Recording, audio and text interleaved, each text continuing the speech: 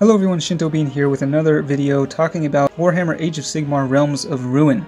And this video is just meant to be a guide mainly for beginners who are new to the game and may or may not have had experience in the past with other RTS games. But I've compiled what I deem to be essential information in order to succeed in this game, particularly when it comes to multiplayer. So first of all, if you aren't familiar at all with Realms of Ruin, yes, it is a real-time strategy game. It has some different mechanics than traditional RTS games, like there's no real base building in this game, uh, but there are a few structures that you start with and also structures that you can build as you expand your territory across the map. Uh, but the focus is more on combat, so you build up armies with units that have different strengths and weaknesses. You start off with the weakest units, and as you progress and tech up, you unlock access to more and more powerful units. Positioning and microing your units is key to victory, and some units do require a little bit more careful setup than simply attack moving.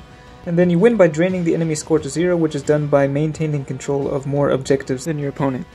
There are two resources in the game, Command and Realmstone. Command is used to build units, issue some abilities like Charge and Retreat, and build and upgrade your structures. Realmstone is used to upgrade your units, uh, build higher tech units, and then use special abilities and also build and upgrade structures. Now, as for how you gain these resources, you always have a steady income of command from your command post that you start off with in your base, and you can increase the command gained by capturing and capping Arcane Conduit. So you do have to keep a unit on there until it increases its area size to 100%, and at that point you will get the most command gain, uh, which is 3 per Arcane Conduit, and I think that's every 5 seconds you get 3 command.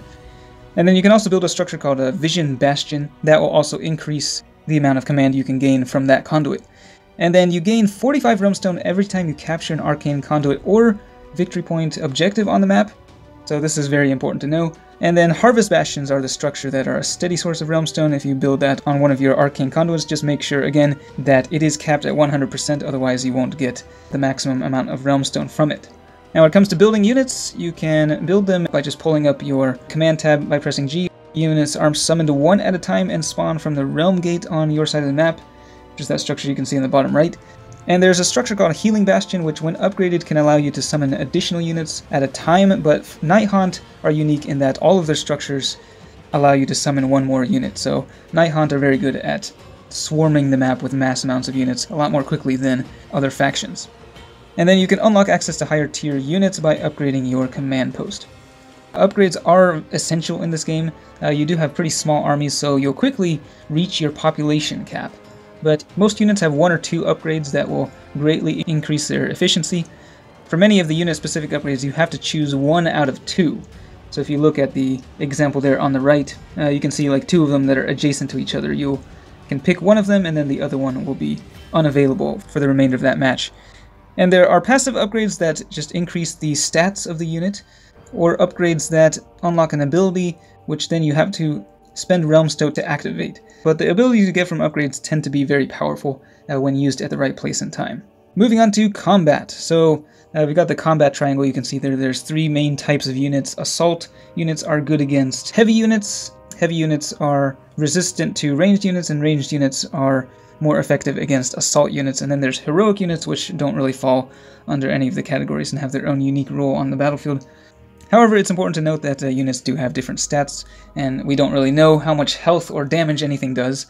Uh, but, for example, uh, Nighthaunt have Chain Rasps, which are an assault unit, which, uh, on paper, they should be super effective against uh, the heavy Liberators of the Stormcast. But Stormcast Eternals are a lot tougher, so uh, it's a pretty even match when the two of them get into, locked into combat.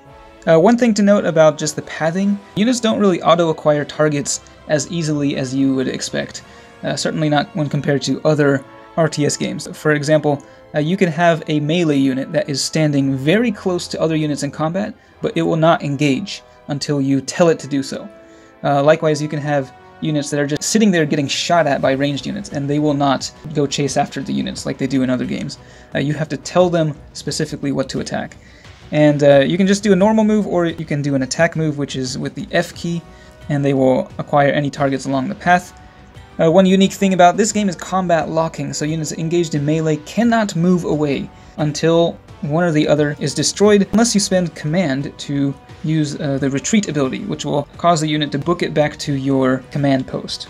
And once they're back there, the command post will heal them back to full health. Although it's important to note that uh, if you are upgrading your command post, it will not be able to heal anything until that upgrade is complete.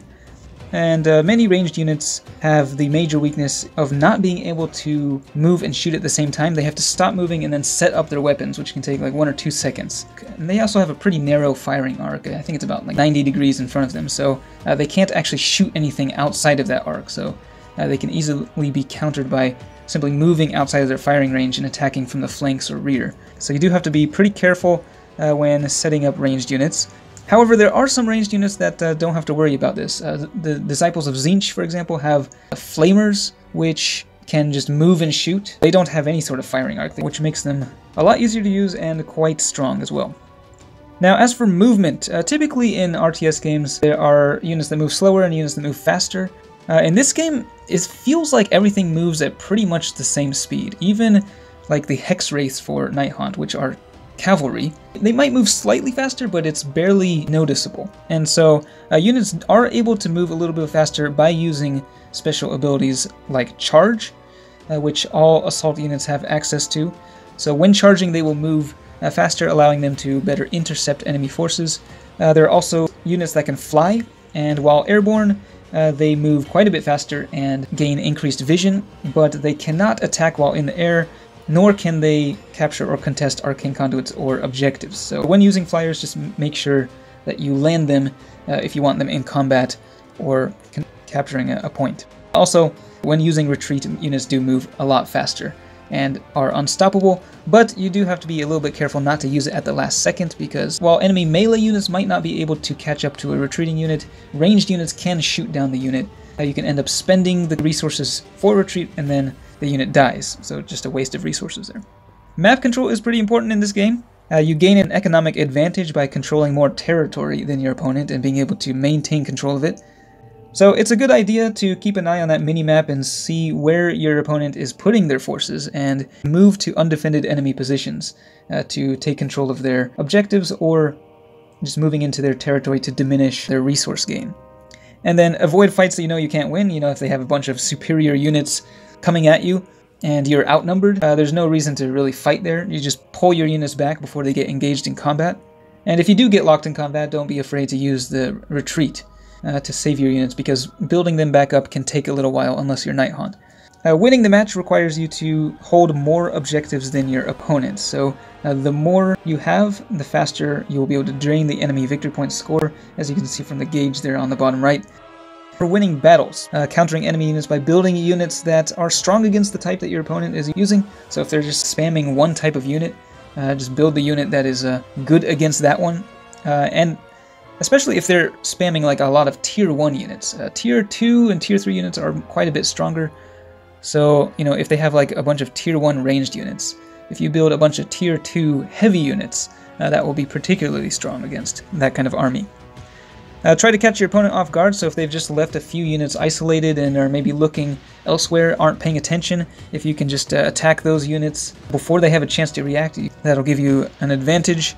Upgrading your units is important, if you have the resources, Command and Realmstone, uh, using those special abilities can turn the tide of a battle very quickly, especially abilities that deal area of effect damage. If you use those on clumped up enemies in combat, it can be pretty devastating. And if you do make it to the late game, you can have some pretty spectacular battles. And if you've built up a good enough economy, you should have plenty of resources to use all of those abilities at once. And if you do that before your opponent has a chance to react, uh, you can cause some serious mayhem. So those are the main points I could think of that are good to know when playing multiplayer in Realms of Ruin. Uh, let me know if I missed anything. I know if you really want to get into it, there's a lot more you could go into as for specific strategies against certain builds, but I am still pretty new to the game. I've only played maybe 7 or 8 matches of multiplayer. Some matchups are definitely more difficult than others, but hopefully this guide is helpful for people who are just starting out. I know it can be very frustrating when you don't know what's going on, and uh, this game doesn't exactly do the best job of teaching you everything you need to know, but uh, once you do know those basics, I think the gameplay is quite fun. That's it for this one, thanks for watching, and I'll see you next time.